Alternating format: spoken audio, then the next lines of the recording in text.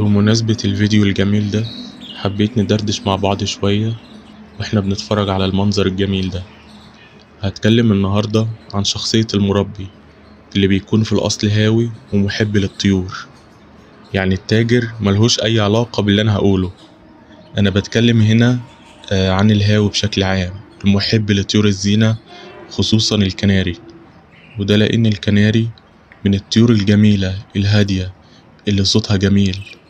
تصحى الصبح كده على تغريدها شيء جميل جدا وأجمل حاجة في الدنيا إنك تصحى على صوتهم بصراحة. كمان شخصية الهاوي بشكل عام يعتبر إنسان هادي بيميل للعزلة والهدوء وبيفضل الصمت على الكلام. بيحب جدا إنه يقعد قدام العصافير في مكان زي ده بعيد عن الضوضاء ومشاكل الحياة وبيطلع كل الطاقة السلبية اللي كان حاسس بيها خارج غرفة الطيور.